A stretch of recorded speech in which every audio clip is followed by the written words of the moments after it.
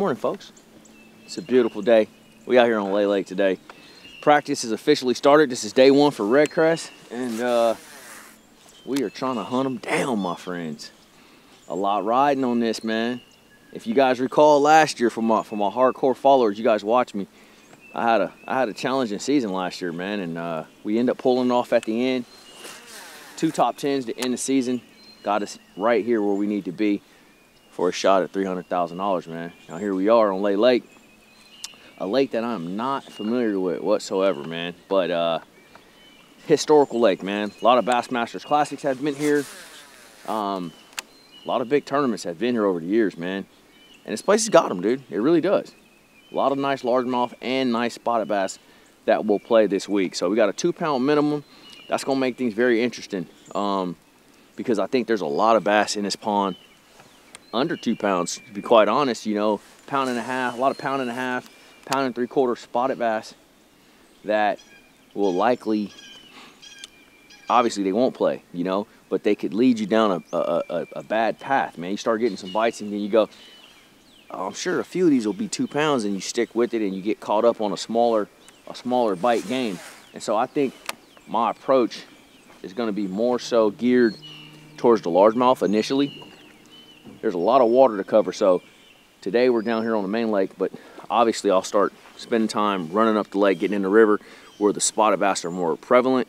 Uh, and I think the size goes up too, and so you might start seeing uh, your better, better average fish up the river. So I don't know, a lot to cover though. We got three days of practice. I'm excited, man. It's a beautiful day. I'm not far from the house. I'm like an hour and a half, hour 40 minutes from the crib, um, which is cool. We don't get to do that quite often. Um, not sleeping in my bed though this week, but nevertheless, if I need to go grab something, I can shoot home and, and go get it done. So pretty cool, man. But uh, you guys stick with us. Today's practice day. We're gonna we're gonna have some live hooks on, and we're gonna roll over some hooks at some point. But we're gonna try to get a few nibbles first and just kind of see what's floating around. Let's go.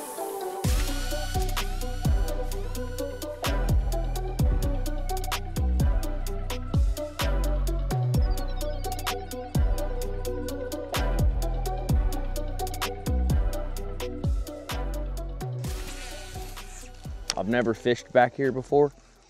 I've caught some bass in this in this particular creek, but never way back in here. So I just wanted to see what's up. All kind of bait out here in the, the middle toward the back. So my thoughts is like these fish are starting to push towards the backs of these creeks. So like on Jordan the other day, I was smashing in the back of a creek on bait and then you go to the bank in the back of the creek and flip the grass and catch largemouth. Like literally just troll from here to there, go flip and catch largemouth. And now here you be catching spots, you know, good ones. So, damn, there's hella bait, but I ain't seeing no bass, boy. They just will not sit still, bro.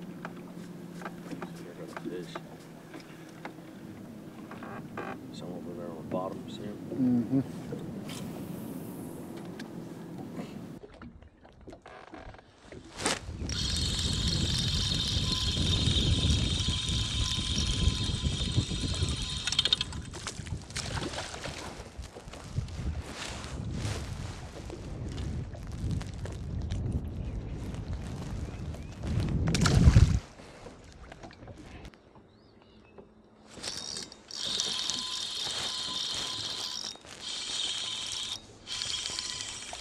Ah, not, don't start that.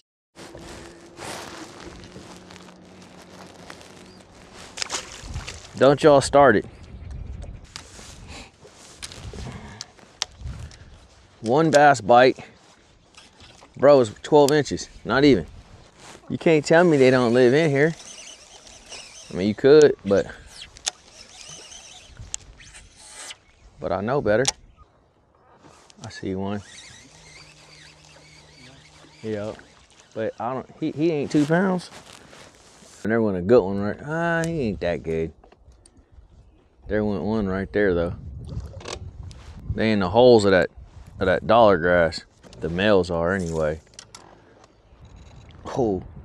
Oh he's still looking at it.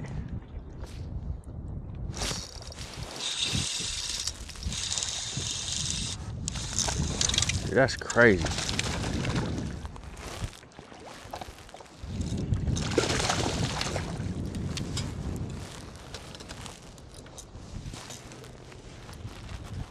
Nice little fish, right? Yeah, nice little fish. But guess what? Ain't gonna make it.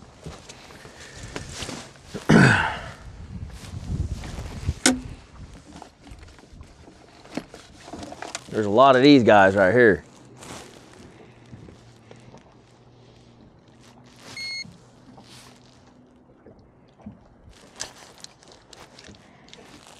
A 140.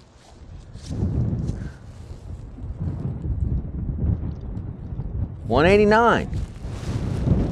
So that's like a one thirteen, one yeah, one fifteen. All right. I'll take him first bite of the day. Well, not the first bite of the day, but first one with any size to him. That was very weird. I seen him on live scope on the edge of that grass. Picked a wacky up to over there and he he had him some. Hmm. That might actually be something. Might pan these grass edges with like a drop shot or something. Oh dude, there's there's there's three more right here. Four more. See them right there? on the front. Yeah, right there on the edge of that grass, right there.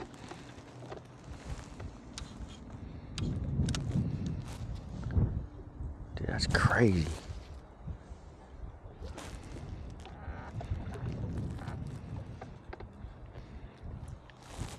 Look at him over there.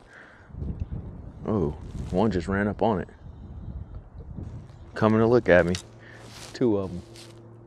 Right on the point of that grass, though. There's a few of them. Now I see another one over there.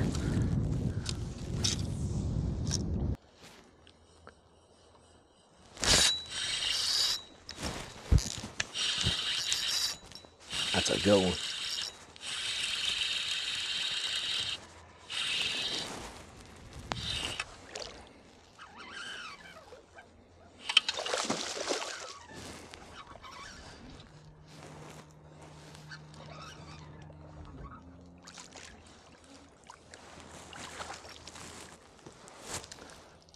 That one will make the grade. That's a good one there. Didn't have my, that's a three pounder probably.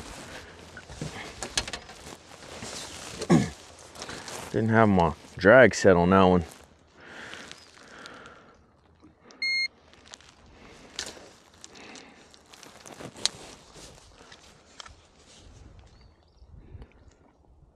Two ninety three. Mr. Three Pounder. Yes, sir. Thank you, buddy. Okay. On old shaky head. Now look, come check this out, Colin. See what they on.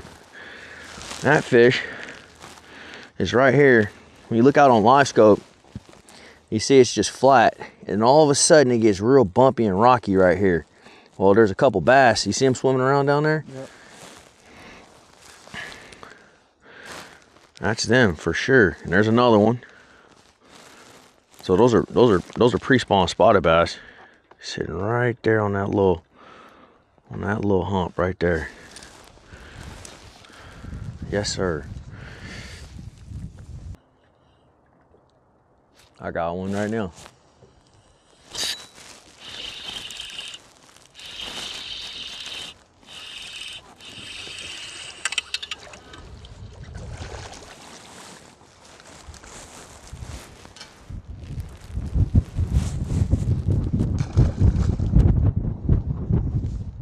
Not gonna make the grade. It's like some of the clearest water on the lake looks like.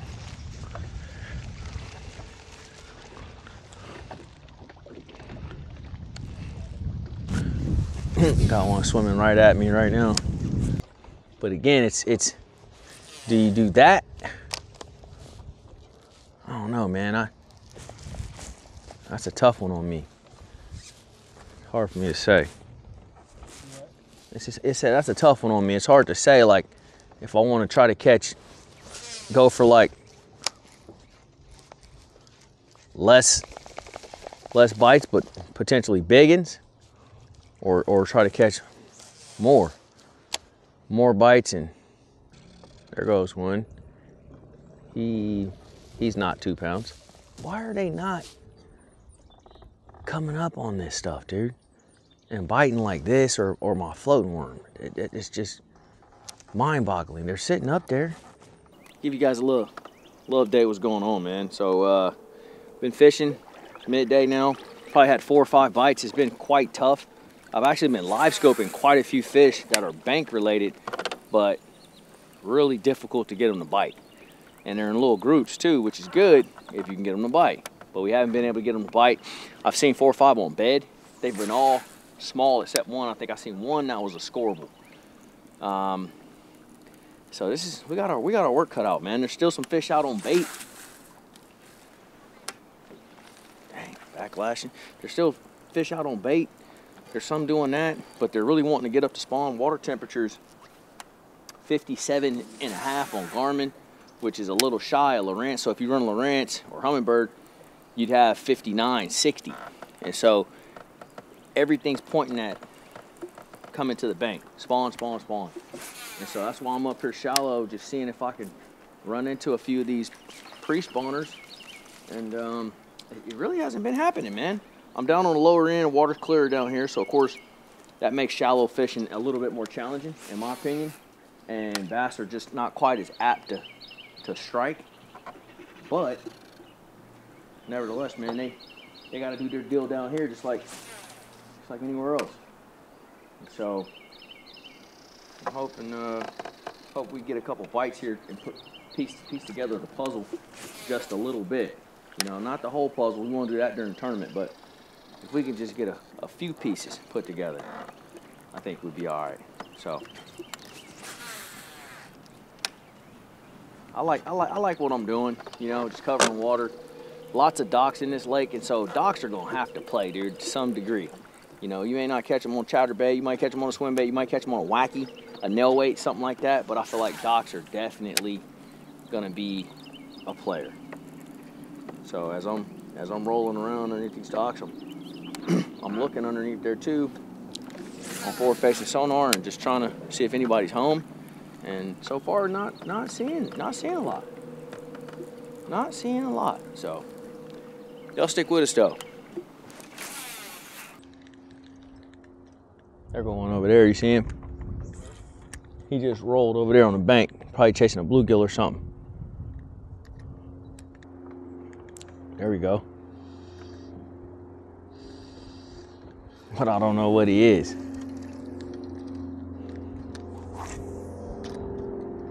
know what I'm saying? Dang, that's the only thing.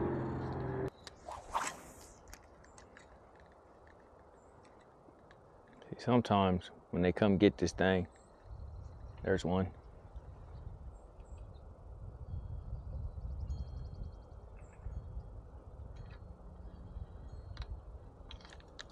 That was not a little one. No, it was not a little one. Just two bites. Two quick, two quick bites in the very back of the pocket. There's one. There he is.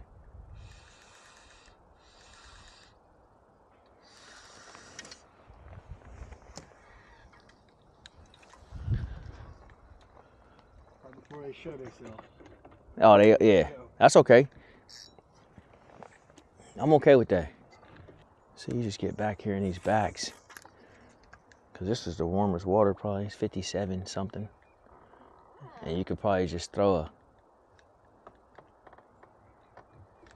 a wacky and and this right here.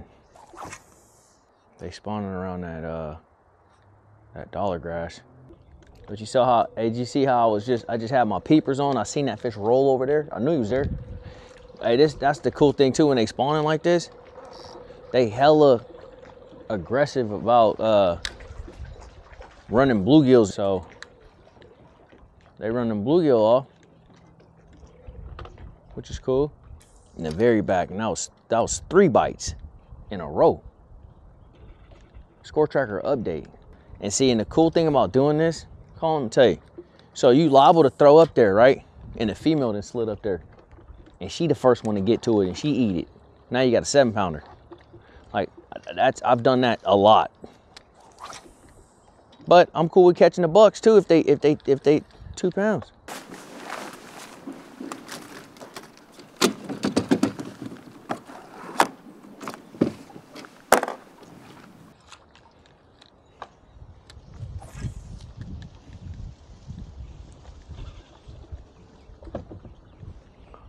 Four. Oh.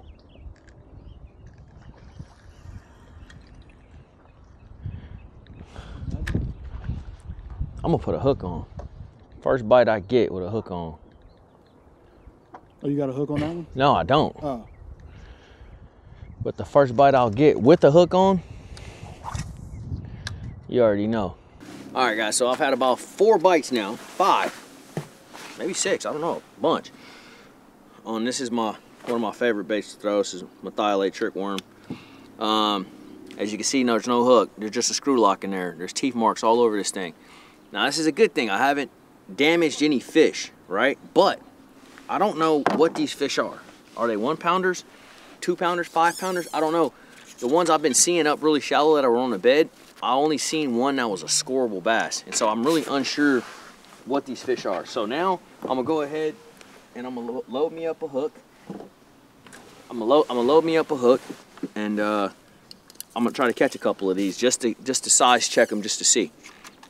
And so I, it around from a bunch of different lines that I like for doing this technique, but this is what I've settled on, man. 12 pound Seaguar red label. Okay, you guys know I'm sponsored by Seaguar. They make the best fluorocarbon ever built, and I can use any of the lines they make. Tatsu, Gold Label, some of the most high-end lines that they make. But for this technique, I really like this lower grade line. Um, this red label is absolutely bulletproof, man. If you've never tried fluorocarbon and you just want to give it a shot, this is the line to try. And for somebody that doesn't do this full time, you can do this for any technique you want. Use it as leader material, use it as filler spool material. Just use it, man. You guys will be thoroughly impressed with this red label. I'm telling you, dude, it's So you're about to go. lean on one. I'm about to crack one. The next one that bites this worm is about to fill it. you guys will get to see him too. Hopefully he's not five pounder, which is it very well knowing easily knowing could your be. luck. No, my luck is be, it'll be a lake record. 10, 12. I don't know what the lake record is, but all right. So here we go. A number 20 offset round bend, Texas rig. This bad boy. Just like that. Very simplistic technique. Very powerful this time of year.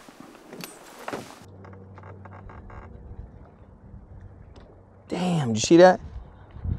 God. I seen a tail on that one. Okay. Okay.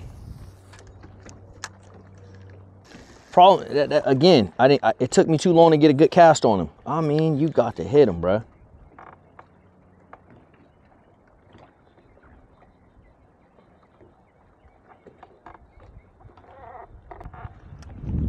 That was giving. That one was giving me. That's a yeah. That's a good one.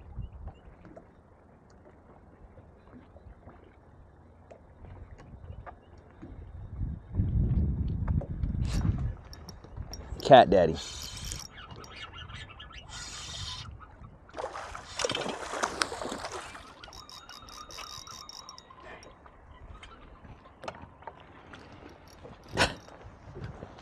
Damn.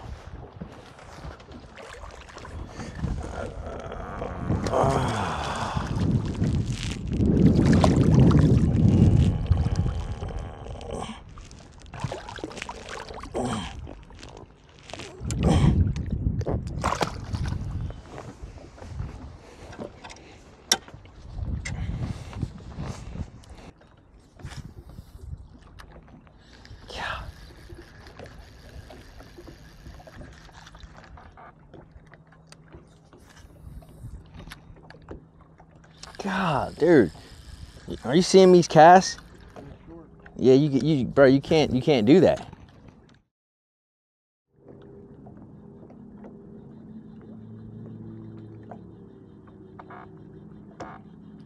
What?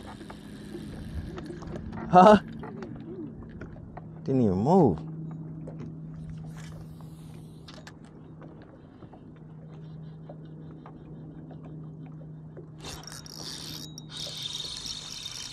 That's a bass.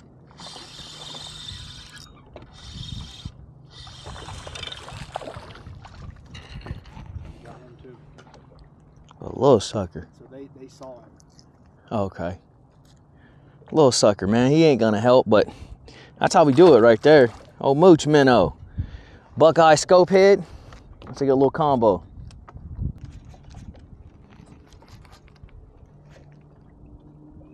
Oh, there he is.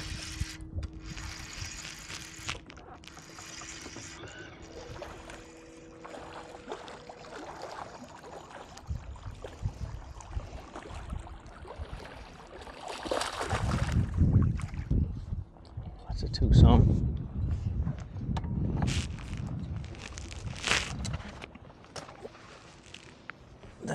Two some. You weighed him or no? Yeah, I'm gonna weigh him once I get him all unbuttoned. That's a chunky. That's what we need right there. Little brush pile up there. I didn't even know it was there. Decided to just. Yep, 277. Respectable. A.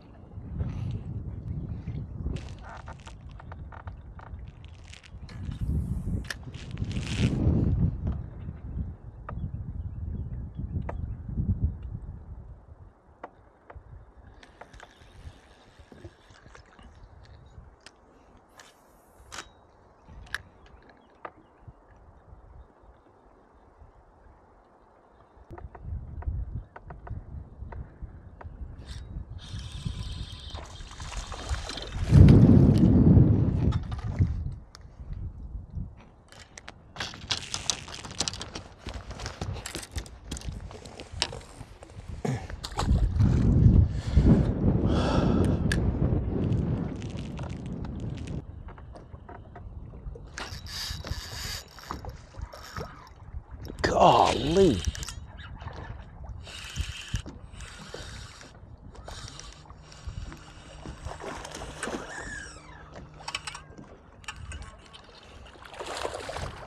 Dude, how, how did that thing pull so hard? That was unbelievable, man. That was weird. Gosh, Lee.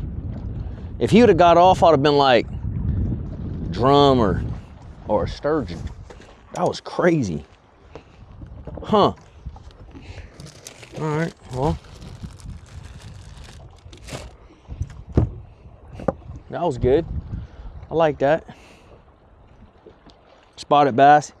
Came up, it had red eyes. I definitely noticed that. Y'all know what time of year it is. Y'all know what time it is. So, you know, we had a couple bites in this zone and I wasn't really liking what I was seeing running around, man. So I wanted to get back over here where I had some bites and just kind of, I'm trying to figure more out, you know? And so, uh, just farting around and, and pick, you know, not picking it apart, but just coming back through here and taking a peek, man. There's so much to see in these areas, you know? Um, hang on one second here. I gotta mark this yeah, so I just wanted to come get back in the zone. I had some confidence in where I had some bites earlier, you know, and we're gonna mill around in here the rest of the day and just try to find as much as I can in here. And that way I don't have to run, spread myself thin trying to run all around this lake, you know? We got two more days of practice, so if I can find a few more zones, I like fishing zones. I don't wanna make a run here, 30 miles that way, 15 miles over here. I really don't wanna fish like that. I will, but I don't I don't want to. So we're gonna try to prevent that.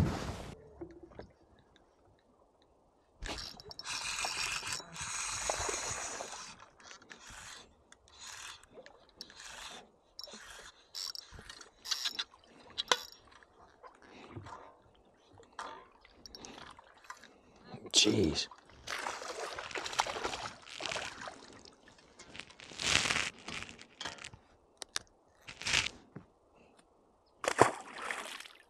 That ain't gonna do it. That will that will not do it. and that's what we put a hook on right there. So if we start getting a few bites like that, and they're not two pounds, the thing with this though, any given cast could be the female. And she's four, five, six, seven, eight, nine pounds. So the key with the with spawning for them bedfish, they gotta they gotta have some light penetration. So it can't be too too too thick. Gotta have a little openings in there. Otherwise they won't they won't even put their bed there.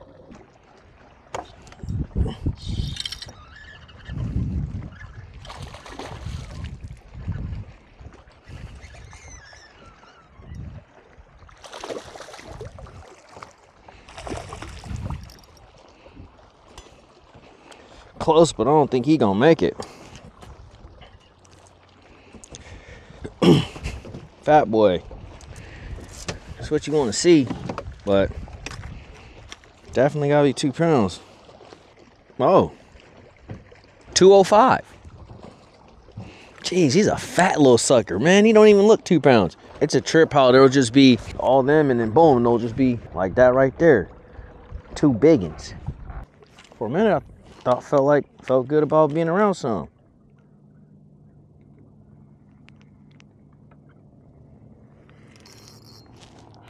Go.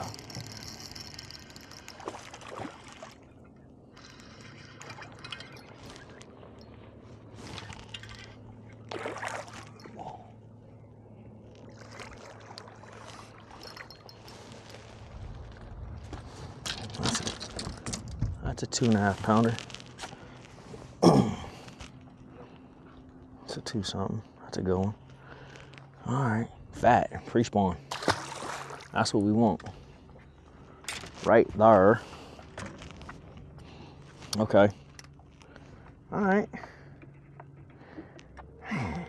You got to work hard at these though, bruh. That's the only thing. You're gonna have to work so hard at these. Dang.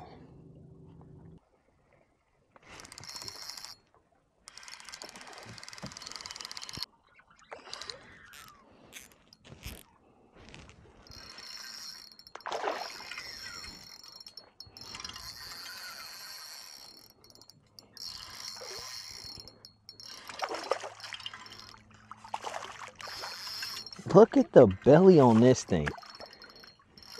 Unbelievable. That's crazy. You're smashing shad out here. Look at the absolute gut on this thing, bro. That is unbelievably so fat. I know he's over two pounds. That's crazy. 249, two and a half pounder. Little fat, little obese guy. Jeez, buddy. Appreciate the bite. Man, I don't know, man. You could catch some two pounders panning, you know, but still scares me, man. It, it, it scares me, man, because you could go so long and probably not catch one, and there's just a lot of like junk fish out here, man. I'm catching probably two to one catfish, I'd say, but it's a it's a good. What in the world? That's all bait.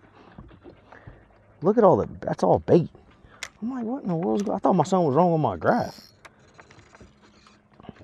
Nothing's wrong. Just that's why he's so fat. He's over here just going, just gorging, going crazy. It's been a long one, folks. We've been out here all day, sun up, sun down, putting in that work, trying to figure it out. We had some bites today. It wasn't great by no means, but this is springtime, and so there's a lot of things changing right now. And so, you know, you gotta you gotta keep your mind in it and thinking at all times. So today I fished shallow and deep, offshore. Tomorrow I'm probably gonna do the same thing. Totally different area of the lake though. This tournament will likely be won, in my opinion, on pre-spawners. Or or spawners that guys can't see. Stained water, off-color water, just fishing for them in a good little zone, pitching around and catching them. I really think that's what the deal is gonna be as far as winning. I could be wrong, but that's what I, I really, really think. So uh, it's time to run in. It's getting late.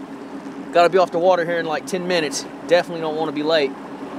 And uh, Hey man, tomorrow's a new day. I'm happy to be here REDCREST 2024. Let's get it.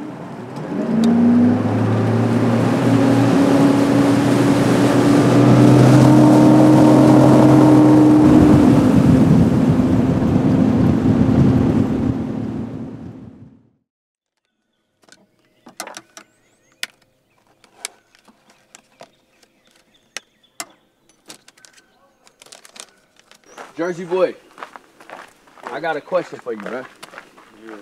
All right. Lay Lake, day one, REDCREST. What's gonna be the biggest single bass caught? Somebody's gonna catch a six. A six? What they gonna catch it on? If you had to guess. Either a hoo hoo or a wacky worm. Hoo hoo, aka chatterbait, Or or, Or a or a wacky wacky worm. worm. six yonder. Six six what? Let's go a little bit I'm more. gonna go I'm gonna go uh, six three. Six pound three ounces. Mhm. That's a damn biggin. Bacon. That's a good one. Hopefully it's All you, Mark. Hey, Mike. Hey, uh, hey. I don't know. J Dub. Question. You already know the answer. No, I don't. That's why I'm coming over to you. Day one. REDCREST tomorrow. What's gonna be the biggest bass caught? One sing the single largest bass. Six pounds, twelve ounces. Six twelve. Yep. Dang, that's a big one. All right. Two part question though. What's it gonna be caught on? You think? Give me, give me one or two baits. Give me two baits. Either a Carolina rig jitterbug or hula popper. One of the two. I'm going with that hula popper, bro. hey, that hula popper, hey, for my old folks that watch, hey, listen, that, that, that hula popper used to be something serious. Hey, he used to catch you a, a bucket mouth. Hey, you Yeah, ever hula messed around that Carolina, Carolina rig and a jitterbug? I ain't never tried That's it. what goes. Is he pretty good? Better watch. Hey, you lose a lot. you lose a lot You of snag, money. you snag up a little bit, huh? You might be hung up a little bit. Hey, but he does float, so you gotta you keep him winding. Like so he just stays bottom context, so you just wind him Just like winding around. dude. For you know it, you got you one. Man, I've been trying a lot of stuff recently, man. I'm just trying to get, stay, on, stay on top of the curve. trying to stay ahead of the curve, you know what I'm saying? Like I, don't want I don't want to I don't want to get behind in this dang bass fishing game. A little worried you. about it. I feel you, bruh. All right, J Dub ain't giving us a bait, y'all. It's Oh, all I mean, good. I, I, I, you already heard. I, I would say wacky worm. A wacky one. All right, all right. J Dub, you know he, or he- sight fishing. or oh sight fishing. There are some Big. there are some big ones. Eh, I don't bet. Practice is a wrap, man. It's over with for your boy. It's gonna be an interesting tournament. It's gonna be an interesting first couple of days because uh, I'm probably gonna go old school this week, man. I, you know, I, I did a lot of offshore fishing, panning around. That's gonna be a strong player. There's no doubt. Um, there's a lot of fish moving up right now. The weather's nice. It's springtime. There's pollen in the air. They should be spawning, dude. They should be wanting to get there to spawn. And had a lot of good bites, man, on a wacky worm, to be honest with you. So it's kind of hard for me not to go try that. We'll play today as it comes to us, but right now that's where my gut's screaming. So that's what I'm gonna do, man. No forward facing sonar for your boy day one, at least. I don't know. I might get out there. I don't. I really don't want to, but we just gonna play it and see how the day comes to us. But appreciate y'all watching. That wraps up practice. You guys will be checking us back out day one, Lay Lake, REDCREST. Let's make it happen.